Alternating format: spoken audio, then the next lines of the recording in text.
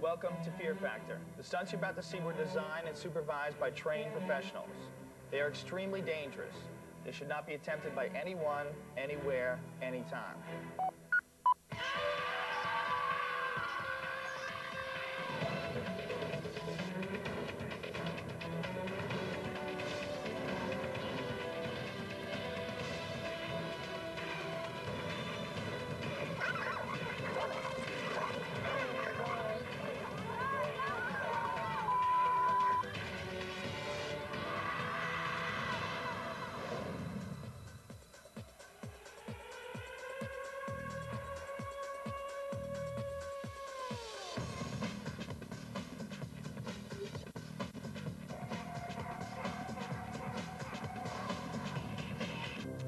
First stunt, you will have a starter's pistol. You will fire off your starter's pistol, and you will run from that cone there to those three cones down there.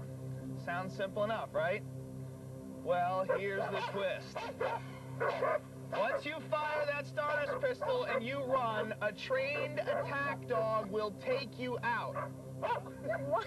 I'm dead serious. The dog will attack you.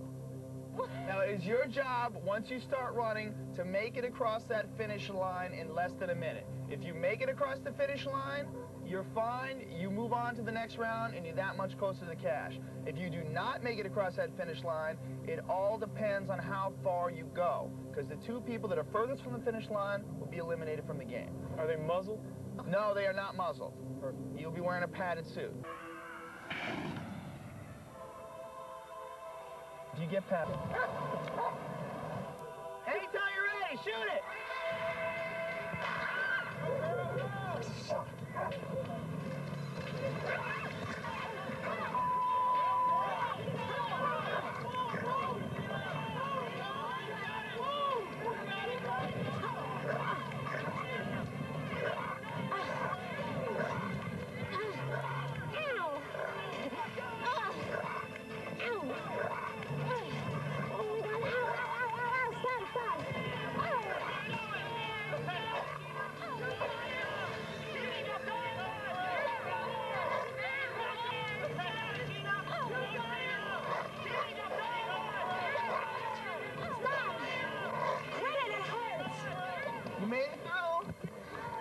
Congratulations, you made it through. Good job, you did great.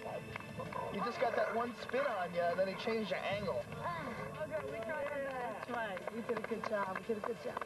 But you